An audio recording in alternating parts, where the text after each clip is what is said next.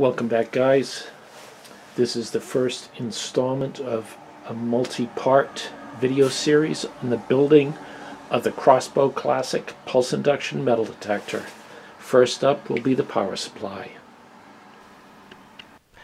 Alright, so let's take a very brief look at the portion of the schematic that we're going to be working on. And as we stated, it is the power supply.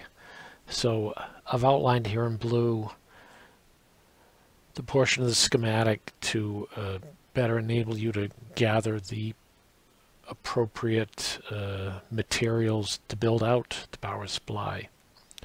So just to preface here, I'm not incorporating the battery charger into my build. So I've, I've excluded the battery charger and some these other battery charger components on the right hand side of the screen.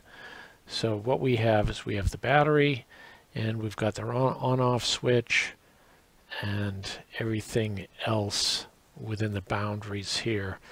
Um, here on the schematic it's a, a 7660 and as I stated or I will state depending on how the video goes together.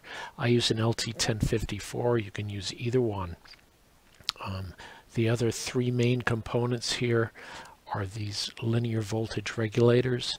We have two 79 LO5s. You can see them right here. One of them is for uh, minus 5 digital and we have a 78L05 for the plus 5 volts. And we also have up here a little bit, uh, I covered it up a little bit, that's test point 5, and that is where you're going to hook onto for your ground reference. And as I stated, the ground reference is plus 12 volts battery. Okay? And that's it. Quick and dirty. All right, thank you. All right, guys, here's a shot of the board with the power supply populated on it. Um, I've got an LT1054. You can use a 7660 if you want. I prefer the LT1054. We've got two 79L05s those are for the uh, minus 5 volts. We've got a 78L05 for the plus 5 volts. And that's really about it. Okay, you can see the other assorted capacitors and some diodes, but that's it. And let's take a look next and make sure it works. I'll show you the readings on the digital multimeter.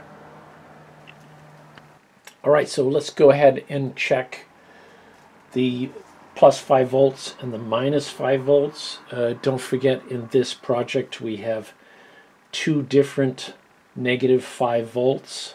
One is for digital.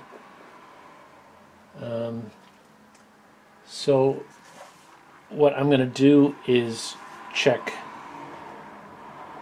pin number 8 of U6 and U1. Okay, there we go. Nominal negative 5. And this is pin 8 of U1. Once again, nominal negative 5.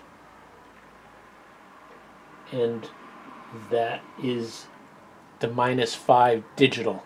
Okay? And we go over to U3. And there we have the the regular minus 5 and positive 5 or nominal positive 5.